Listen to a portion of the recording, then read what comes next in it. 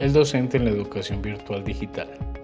Los nuevos entornos de la mediación social, dados por las tecnologías de la información y la comunicación, han generado unos nuevos paradigmas para la educación y con ello el rol del docente, quien debe adaptarse, transformarse y replantearse frente a tales interacciones. Si bien la educación se ha desarrollado de la mano del docente como figura portadora del conocimiento, hoy en día, en plena era del conocimiento, donde la información está en todo el ciberespacio, es decir, en cualquier dispositivo con acceso a Internet, el docente cobra vigencia, ya no en virtud de un saber enciclopédico, sino en la capacidad de mediarse por las herramientas digitales y pasar de ser un transmisor de información a ser un orientador y validador de los aprendizajes.